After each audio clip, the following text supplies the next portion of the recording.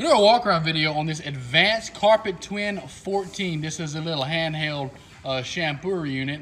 Um, this is one of several shampoo units coming in from a local casino. This is around $1,000 new, so it's a very expensive little uh, unit here. When I plug it in, I do hear the vacuum kick on, so that's a good sign.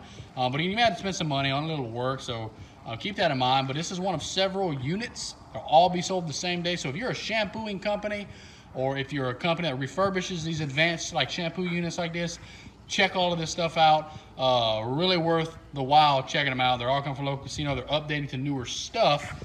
But uh, I didn't actually have the cord plugged in for this one, and that's my fault. But I'm gonna try to plug this in real quick. When I plug it in, you see it kicks right on. So that's a good sign. You can hit the vacuum after the handle works. There you go. And again, you may have to spend some money on it. A little time and effort here or there. But uh, again, it's about a thousand dollars new. So if you need one like this, it's probably worth buying and getting it perfect. Only at auction time at Brookhouse Auctions. Will it be bought? Thank you.